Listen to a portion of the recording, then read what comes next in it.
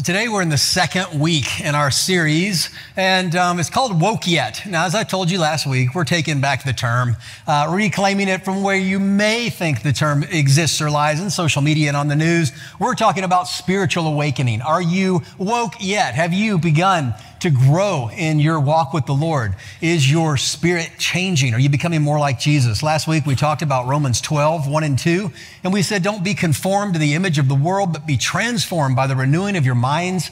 Then you'll know, you'll understand what God's good, pleasing, and perfect will really is. And so that was our kickoff. And then I told you for the next five weeks, we'll be talking about a practical tip or strategy, something to implement in your life so that you will begin to grow and become more like Jesus. And today is going to be one of the most um, difficult for me to apply for you.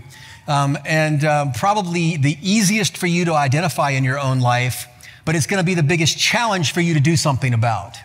And I'm going to tell you right now, your tendency is going to be the same as my tendency, and that is that you're going to hear these things that I'm talking about, and they will string or strike a chord of truth in your heart, and you may nod your head a little bit, but you're going to be tempted to walk away and do nothing different. And really, this is the beginning of um, not just the series, but it's the core principle, the foundational principle for everything that's going to build from here until Easter when we conclude.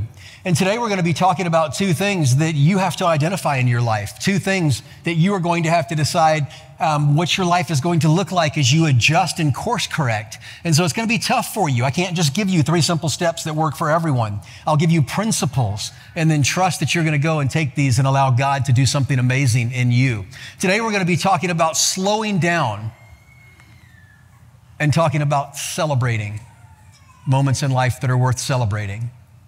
Way too much of life happens in a hurry, where we are running from something or running to something, waiting in line, waiting to live.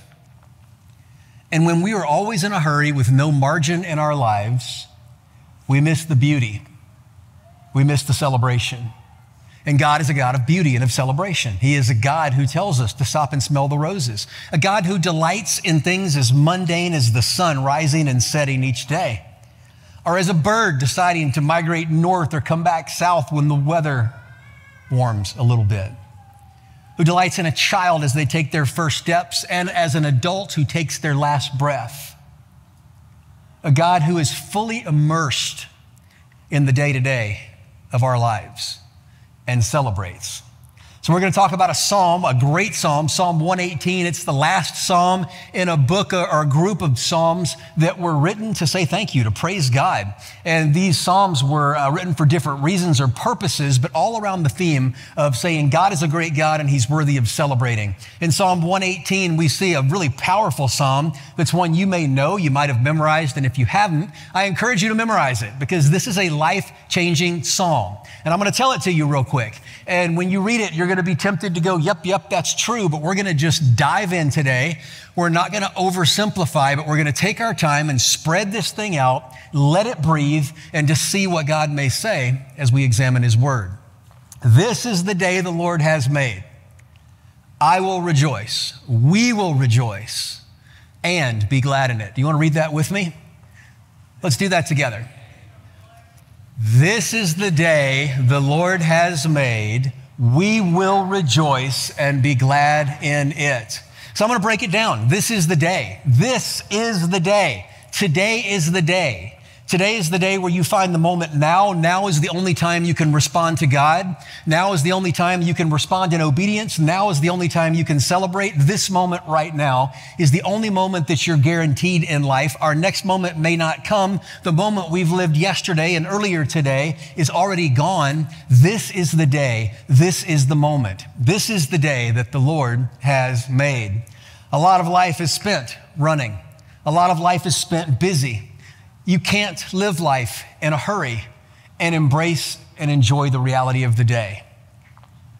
You can't love in a hurry. You can't listen to someone in a hurry. You can't celebrate small moments in a hurry. Yet we hurry. So we're going to talk at first on just how to, to settle down, to settle in. and to embrace the day. And really, the first simple principle that I want to give you is as we, as we look at the fact that this is the day that God has made, we have to, to agree not to look back. Because you may agree with me that when you constantly look over your shoulder or in the rearview mirror about how great things used to be in the past, or how bad things used to be in the past, it defines you and can paralyze you from moving forward into this moment. Does that make sense? We all on the same page? I want us to be on the same page now because we got a little distance to cover. And if we're not on the same page now, then we'll be more distant as we go and not more together. So let me say it again. When we're constantly looking at yesterday, we can never fully be present today. So we have to come to terms with yesterday, which sometimes involves forgiveness. We put a period at the end of the sentence and choose to move forward. When we look at yesterday and talk about how great it was and couldn't we go back or wouldn't we go back or shouldn't we go back, we have to put a period at the end of that sentence and say we can never go back. And sometimes worshiping the past or being stuck or preoccupied in the past, this is an important thing, an important statement but sometimes being preoccupied with the past is a way to mask discontent in the present, disappointment with God on the way He treated you in the past or the way He's treating you in the present because it's not as good as your past. So we have to agree for this to be the day to stop being preoccupied with the way things were, good or bad, and move beyond. We're people who look forward. We learn from the past but we live today. The second thing you have to agree with, or I hope you'll agree with, is that we can't constantly be forward looking. We can't always be looking at what's next because when we're always looking at what's next, we can never be present in this moment. Do you know anybody like that? Are you somebody like that? You think you're going to be happy. You think you're going to find joy. You think you're going to find meaning. You think things are going to get better or less complicated. And there's always an event that you're waiting for, a set of circumstances. When you're in high school, when I graduate, things are going to get better. They'll be more simple. I'll be happy. You graduate and you find out you're the same person you were when you were in high school. And then you get to college and you're like, well, when I graduate from college, things will be different. Things will be better. I'll be happy. When I get a boyfriend, things will be better. I'll be happy. When I get a girlfriend, things will be better. I'll be happy. When I get a degree, things will be better. I'll be happy. I'll settle down. When I get my first job, things will be better. Things will slow down. I'll be happy.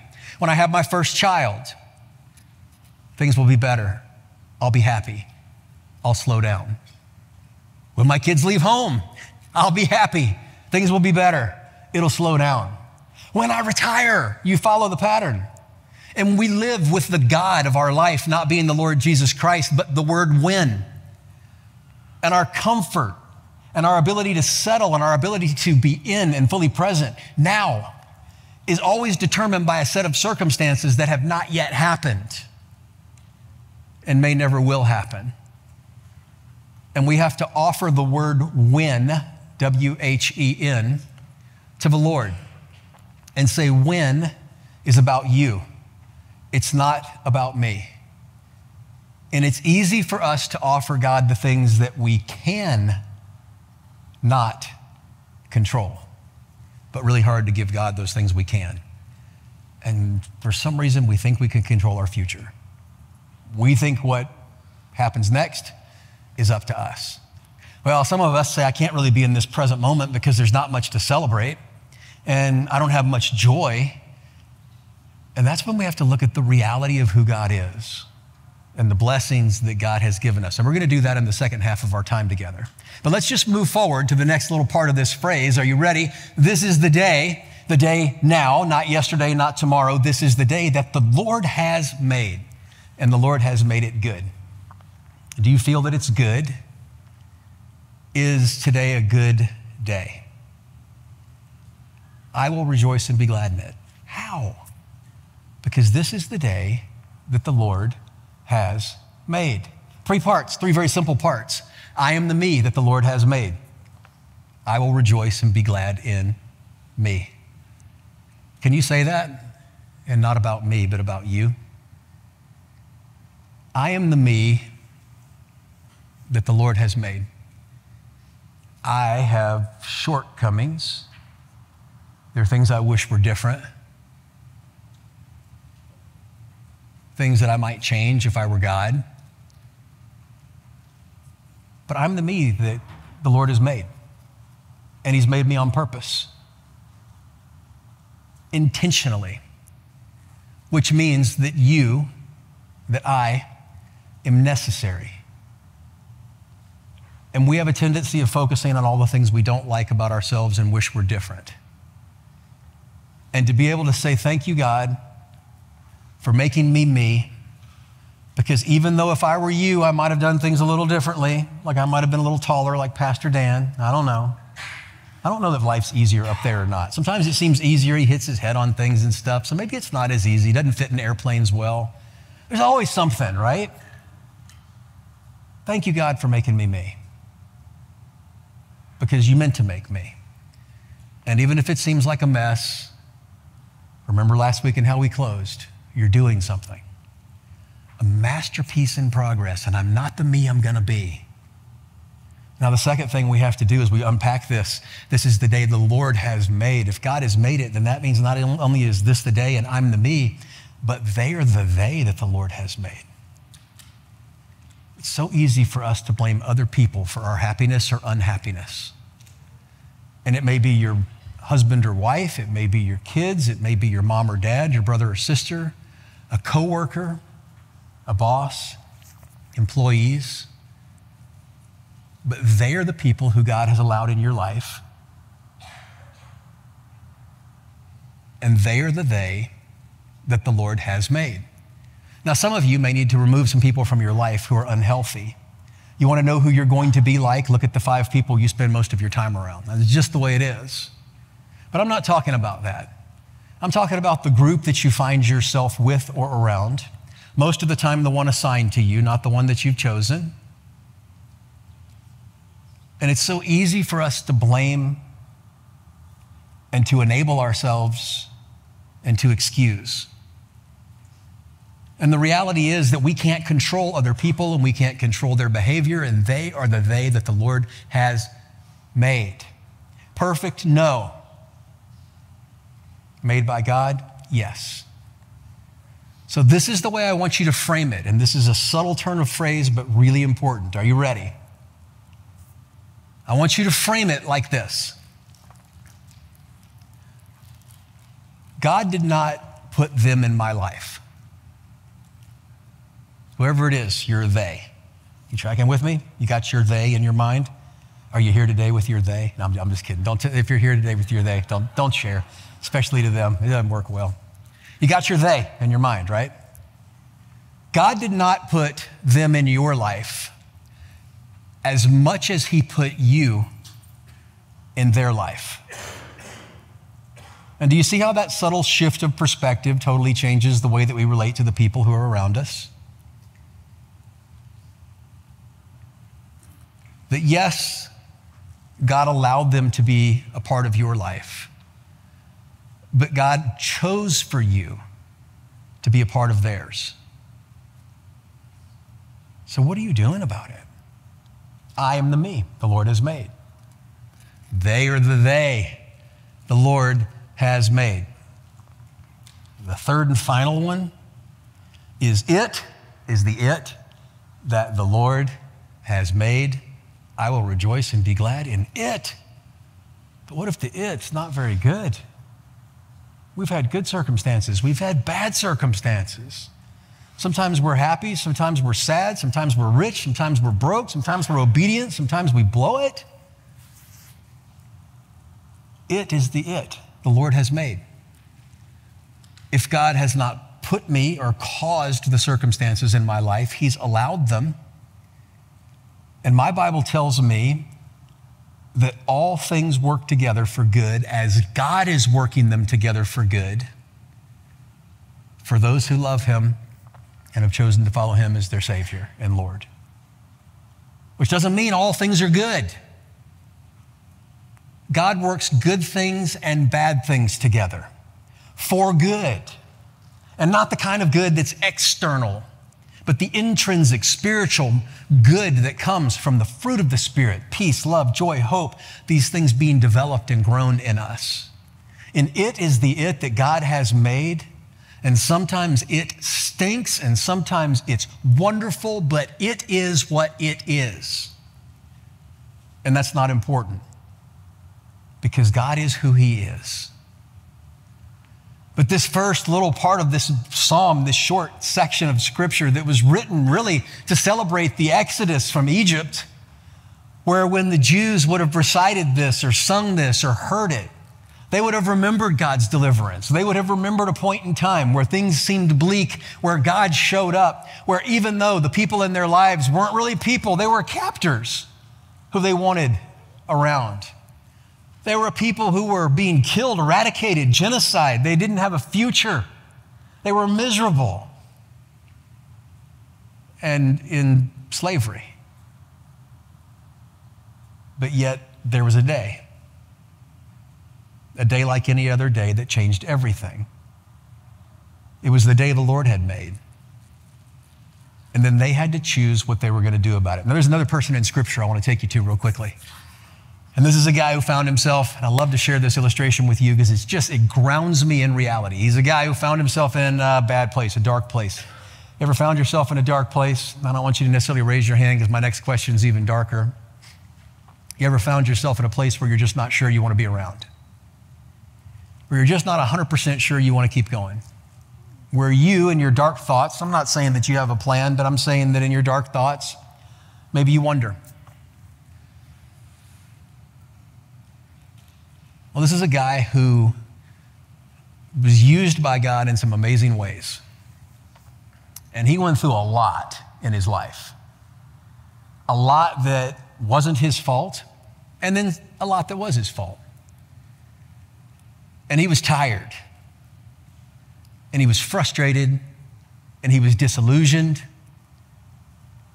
And after this amazing power encounter or power struggle with some false gods and some supernatural intervention, he was afraid for his life and he ran.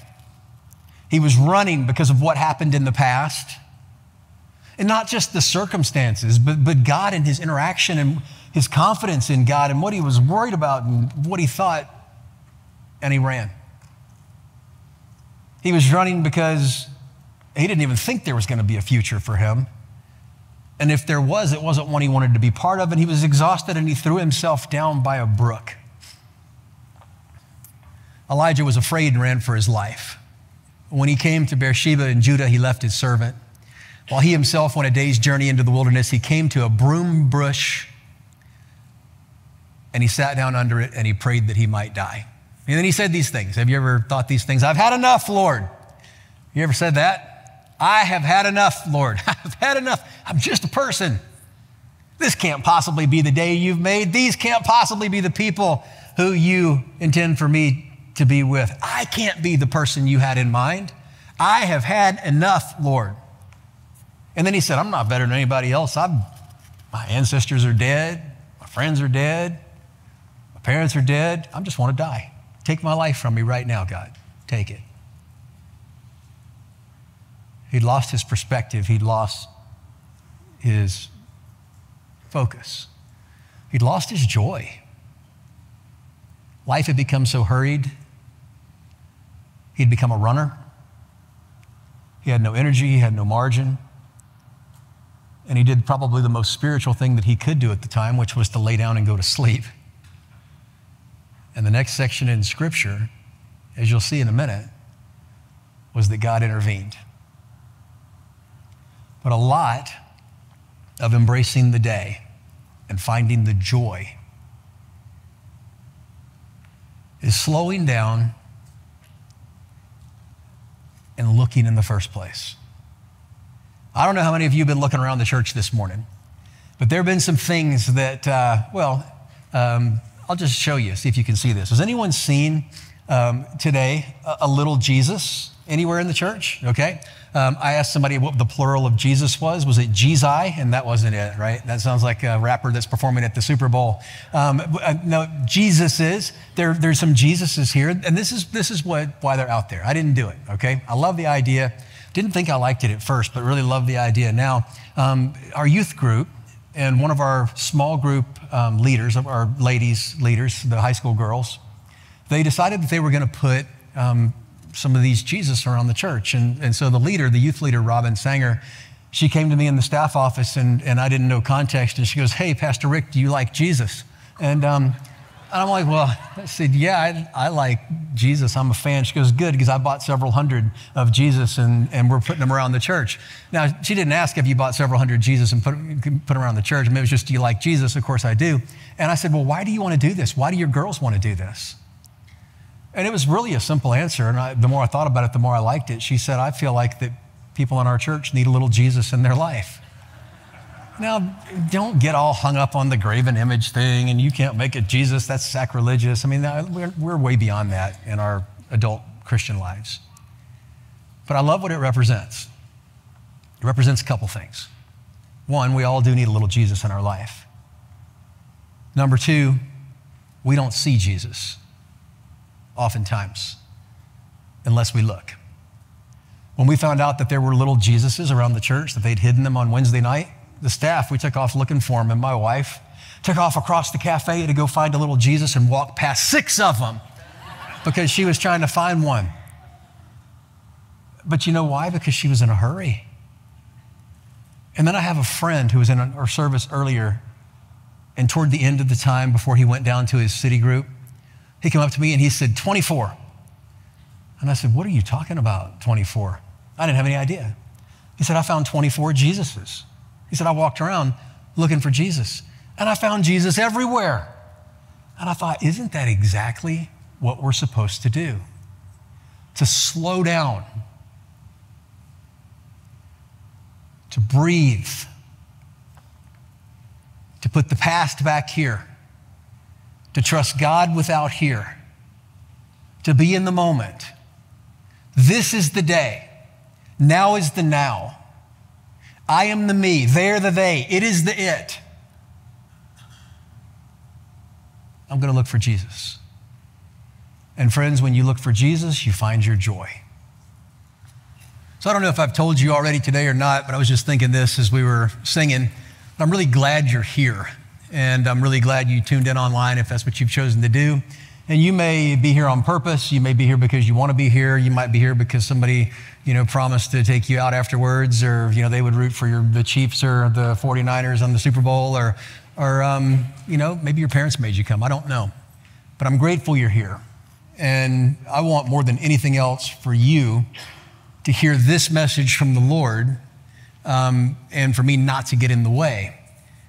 And in a message like this, this one's a really hard one because I think it's so important. And I'm being 100% transparent with you as I try to be. I'm really bad at it. Um, spiritual authenticity is, is, is, an important quality for all of us, but particularly for a preacher. And I think many times preachers have a tendency not to be super authentic. And, and if I were you, I would want to know two things. I would want to know, first of all, is what he's saying true? And the second thing is, I would want to know, does he believe what he's saying is true? That's what I would want to know if I were you, because truth is most important. And then does the messenger, does the person who's standing up there really believe it? And I can tell you, I wholeheartedly believe that this is true, but it doesn't mean that it's easy for me. Now, I might be better at it than you are, but I'm not comparing myself to you. I may not be better at it than you. I'm sure I'm not. But I don't compare myself to you because that's me being better or you being better than me. I compare myself to Jesus and say, where is the standard and how can we grow together? Because I believe with my whole heart that this is true and it's so important, but it doesn't mean that I experience it in any different way than you, than you do. In fact, this slowing down and seeing beauty in life is probably one of my biggest challenges because um, I'm wired in a way that just doesn't live that way. It's personality, um, you know, part of, as some of you know, my thyroid condition, being treated for thyroid cancer, they've got my thyroid levels turned up so high that even if I wanted to slow down, sometimes it feel like, it feels like that's still Mach 1. And so I really have to work on it. Yesterday, Joy and I took off. We were driving downtown, and I asked her this question after we got downtown. I said, Is it just when I come out to drive that all the idiots decide to get behind the wheel?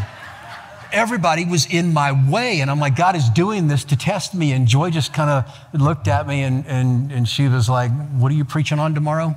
Now, she knew. She knew what I was preaching on today, but she just said it and just kind of smiled. And, and then a minute later, I think I heard her say, Good luck. I'm not 100% sure I heard that. Is that what she said? Yeah. Um, because it's just, it's difficult for us.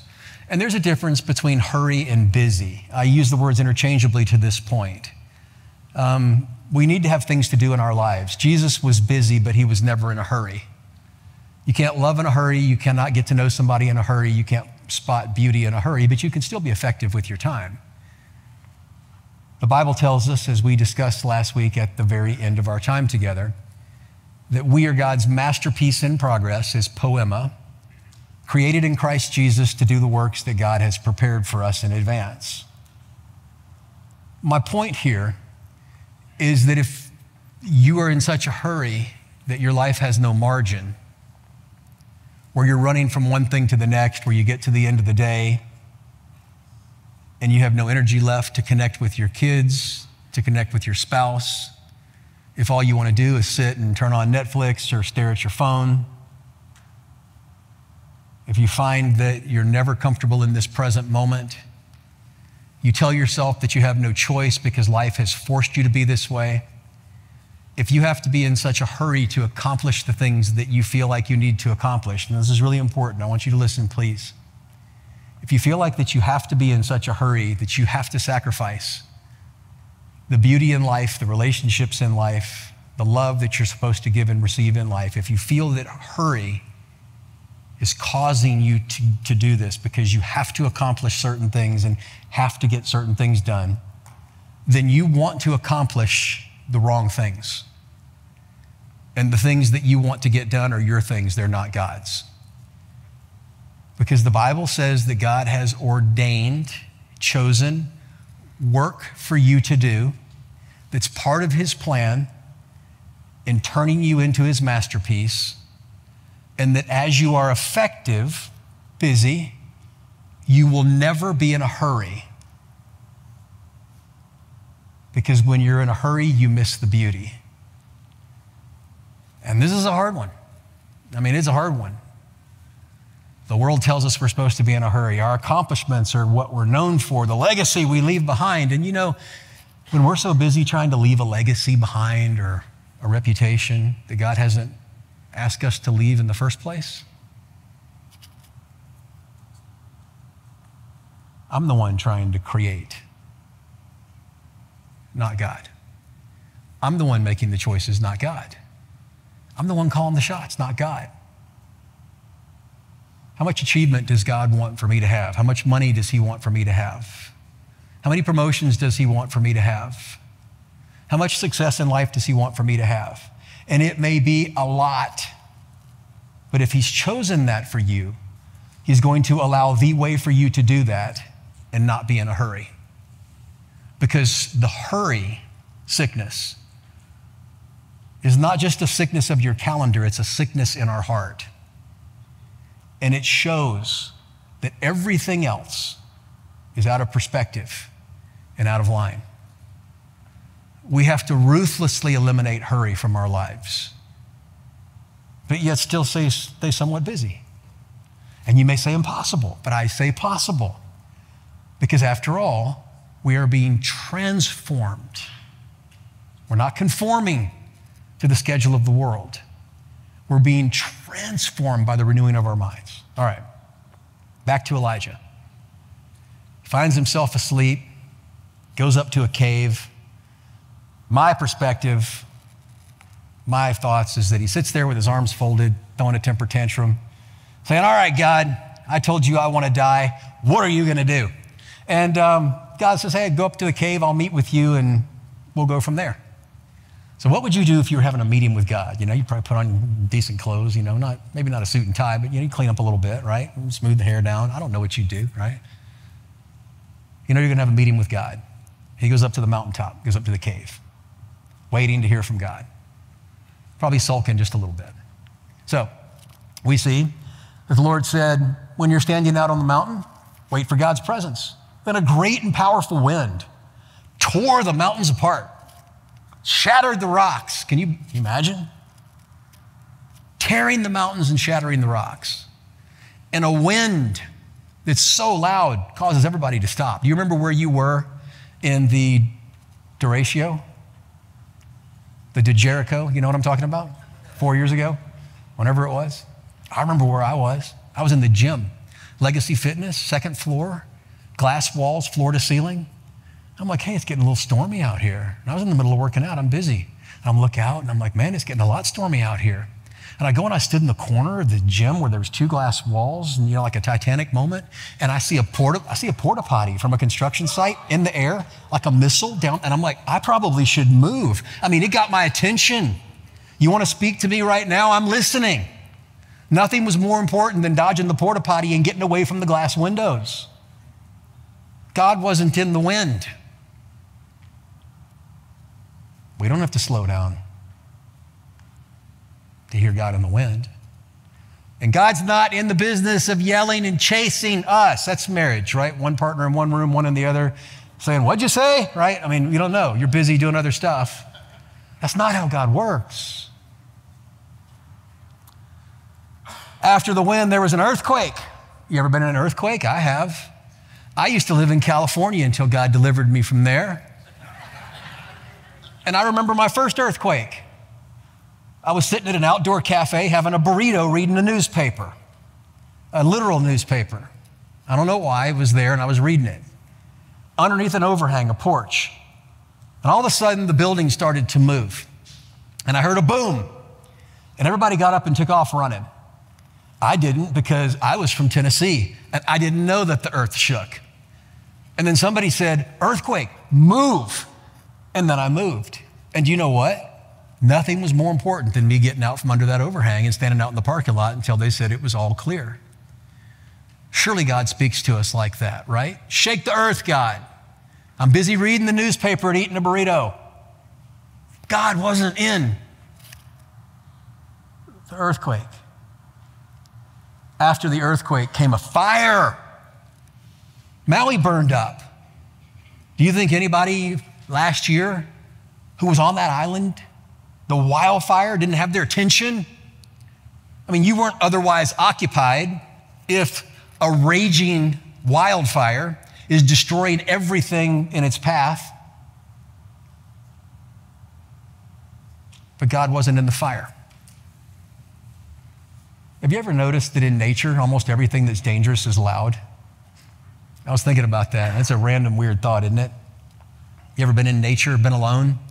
Usually quiet is okay unless, you know, something's sneaking up on you. But I mean, like a bear, roar, they come get you. A rock rolling downhill, a tree falling, you know, you start to hear it. You ever heard a creek or a river as it begins to flood? Everything in nature is loud. Get your attention. All the bad stuff. But Elijah, after he was like, whoa, earthquake, wind, fire like that band in the 70s. Back in the cave, going, What's next? He hears a whisper, Psst. I'm not coming out. What are you going to do next? Lightning? You know, forget it. Psst. So he comes out, shakes his head out. After the fire came a gentle whisper. Elijah heard it and said, This must be God. Pulled his cloak out to go investigate. And this is what God said. Now, you need to read his own story. This is my paraphrase. You read the Bible yourself and you can See behind the scenes here. I created you for a purpose, Elijah. The world is a better place with you in it. There are things that I want you to do, things that I've asked you to do, and these are things you can't do yourself. But if you learn to trust me and live at my pace and not yours, I will lead you through this life. And you will be able to say, I am the me the Lord has made. They are the they the Lord has made. It is the it that the Lord has made, and I will rejoice and be glad in it. What does that mean? Rejoice, be glad. Two words, compound words, Hebrew. I, I actually got into Hebrew this last week and we studied this because I wanted to know what it meant.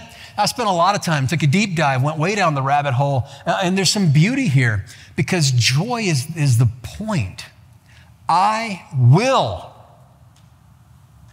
rejoice and be glad in it. Not when I feel like it, not because things are going well, not because things are what I expect, but I will rejoice and be glad in it. Now, rejoice literally means to know or acknowledge a set of facts. For the children of Israel, it was three facts that they were thinking of when this psalm was written. One, God had protected them. Number two, that God had delivered them. And number three, that there's heaven that waits. God's protection, God's love, and heaven that waits. So if you have nothing else in your life that you feel like you can say thank you for, any joy in your life that you're missing or that you're still looking for, think about these three things, these three facts. They're as true for you as they are for the Jews who heard this or sung this in the first place. God loves you, He protects you, and has created a home for you when this life is over. So, accepting the facts is the first part. That's the first part of this rejoice and be glad. Accept the things in your life when you see the things in your life. How do you see the things in your life? You slow down and look for the things in your life because you never see beauty when you're in a hurry. You can't have relationship in a hurry. You can't love while you're in a hurry. So we slow down and we see and we acknowledge and we say thank you. And then this be glad. This is the word that I really want us to, to end on. I will rejoice and be glad. Be glad means to respond internally to the external reality. As simple as a sunrise or a sunset, a little baby laughing for the first time or taking her first step. As significant as God delivering you from an illness providing a job, a friend, seeing beauty where you haven't seen it before, responding to it, saying thank you to God. It's internal. This is what I've done in my own life. This is where you have to apply it to your life. Because I like to keep a to do list with the Lord, and I don't really spend a lot of time looking at blessings and celebrating. It's the way I'm wired. So I bought a spiral notebook, and it's not an eight and a half by 11, because if I did that, I would feel like I needed to fill the whole page, and that's not the way this exercise is supposed to go. I bought one of those smaller ones, like a half size. Spiral. Why not digital? Because my phone keeps going off, and when it goes off, I have digital ADD, and I go ding, ding, and I, and I, I can't, I can't not chase it. I can't. I can't not pick it up and look at it. So the phone has to be silent and it has to be upside down. And you know what? The world will survive for 10 minutes without me looking at my phone. And it'll survive 10 minutes without you looking at yours too. So I went old school with a pen and paper. And I have three columns on my page. Do it if you want, don't do it if you don't want to. This is something I needed in my life. Settled my heart and slowed down for a few minutes and said, okay, God, thank you. First column is thank you. Now, when your thank yous are all about you, it's a start, but that's not where we want to end up. A lot of true joy and celebration comes in what you see God doing in other people. That's when you know God didn't put them in your life, He put you in theirs. But my first column is thank you. Now, my second column is a little cynical. You may not like this. It's all right. I'm trying to be transparent. It's the way I am. First column is thank you, God. The second column is, I think I thank you, God. And the third column is, you know, a request column. And the think I thank you are those things that you think God's doing, but you don't know for sure because time will tell, right? You ever been wrong? I think this is a blessing from God. And then you end up finding out it was just me trying to create God's will in my life. And it was really a blessing for me that turned out not to be a blessing. So it's an I thank you, God, or I thank you, God, as best I can guess, as best I can tell. Time will tell. And this is kind of cool because the last few weeks I've been doing this, I've been able to move some things from the I think it's God to the it was God column and take some of the I think it's God and say, nope, that was the Rick column. And I can see, but I'm just as happy that those things didn't happen as I am that those things did and it's helping to create joy and celebration. Internally, I'm responding to the truths. The third column is the God, please. Please do these things. All of us should have that running list. You can have the list however you want it. You can figure out how to slow down however you have to slow down. You can figure out how to take some time and just be quiet and be still. You can drive with the radio off. You can go for a walk without headphones. You can force yourself to get alone, to slow down, to lower the RPMs in your life. Only you know how to do that, but you have to do it. And as you slow down, as you create margin, as you begin to see the beauty in your life, as you begin to respond to God, as you see Him in unexpected places, as you find Jesus in places you never thought you'd find Him before, and it causes joy, then this word doesn't just involve internal emotion and action it involves external celebration. You have to share your joy. Now, I went to Walmart. I didn't even know if they still had this, but I bought, and I went by myself. Well, Joy was there, but I shopped for myself by myself. And um, I don't even like going into Walmart. I bought Joy dish soap. Have you ever seen? They still make Joy dish soap. Can I have my lovely and talented volunteers to come to the stage now? Joy dish soap. And I made sure that nobody stole my joy. I was so happy that I found joy, uh, not her, but this, that I took a picture of it, sent it to the staff, and said, I found joy at Walmart. And they're like, nobody else has ever found joy at Walmart, right? You spend money, but you don't normally find joy. Would you go over here to this side? Thank you. And, um, and so, what I want to do is, I want to respond. I want to follow the biblical pattern. This is the day the Lord has made. I will rejoice, accept the facts, and be glad in it be glad is to respond internally and externally. So as I share my joy with you, I put a little bit in there. Okay, I'm gonna put a little bit in there. What I would like for you to do is I'd like for you to start sharing that with my friends. Can you do that? Can you blow some joy on them to share it? Because that's what we're supposed to do, to share our joy, because joy is contagious and it's what Christians sometimes, well, we're not known for. There you go. That'll work. I have some friends who are going to help too. Our worship team is going to come out here, and I want us to finish this time together by repeating this great song. Repeat with me. You should know it by now. This is the day the Lord has made. We will rejoice and be glad in it. One more time. This is the day the Lord has made. We will rejoice and be glad in it. Father, thank you so much for the time that we've spent today unpacking this simple but profound psalm. And I pray, Father, that as we look at our own lives, I know in this room, those watching online at our other service, that there are many like myself who've been convicted. We make excuses about our time more than anything else. If we're not careful, we squeeze you out of every minute of our lives. We are tired, our kids are tired. We're teaching them not to have any margin in their life and not to see joy. We're overscheduling. We're running too fast, trying to accomplish too much, to experience everything. And in reality, we experience nothing. Father, we're exchanging depth for breadth. And we're missing out on some of the most important moments you've created for us. I pray that we would be people who will slow down, that will celebrate that we will tell you thank you, that we'll live with gratitude, influencing and affecting the world around us. We thank you for Jesus. We thank you for his love, for his protection, and that he that you have provided a place for us to go when we finish this life and leave it behind. Because of these things and so many more, we tell you thank you and that we love you. In Jesus' name. Amen.